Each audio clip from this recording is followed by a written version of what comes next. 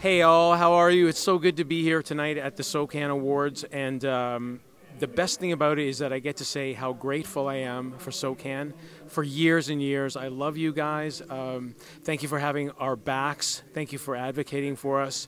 Um, thank you for being uh, my partner in my little enterprise. It, it means a great deal to me, uh, and I, I look forward to many more years. Thank you. I love you guys, all of you.